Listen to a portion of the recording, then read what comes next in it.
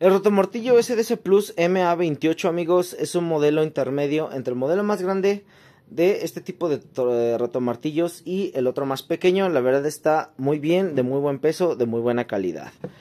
La verdad ya lo hemos visto en otros videos, en otros canales y sin embargo faltaba quien champie herramientas. A primera cuentas pues podemos ver que el capuchón trabaja muy bien. El capuchón trabaja muy bien. Tenemos un mango auxiliar. En esta ocasión no tenemos modo taladro, solamente tenemos modo cincelador y modo rotomartillo. La carcasa es de metal, se siente muy bien. El selector también es muy sencillo de utilizar y es muy suave, la verdad, a pesar de un rotomartillo SDC Plus nuevo. El cable también estaba, es bastante largo, el gatillo se siente muy bien. En esta ocasión no tenemos antivibración, pero vamos a ver ahora con el trabajo, a ver qué tal.